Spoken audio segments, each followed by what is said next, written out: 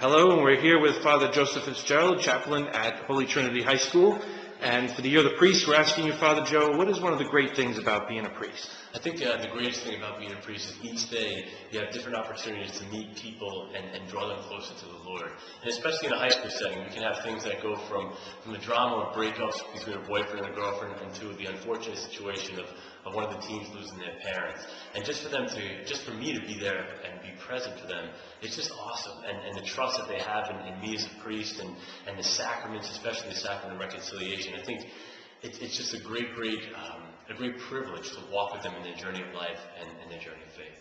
Well, God bless you, Father Joseph, and thank you for your priesthood.